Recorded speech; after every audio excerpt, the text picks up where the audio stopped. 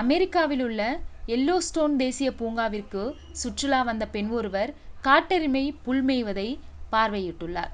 இதனை கண்ட காட்டெருமை பெண்ணை விரட்ட ஆரம்பித்துள்ளது. பயத்தில் கீழே விழுந்த பெண்மணி அருகில் காட்டெருமை வந்ததும் இறந்தது போல் நடித்துள்ளார். பின்னர் அங்கிருந்த பூங்கா ஊழியர் காட்டெருமையை விரட்டியுள்ளார்.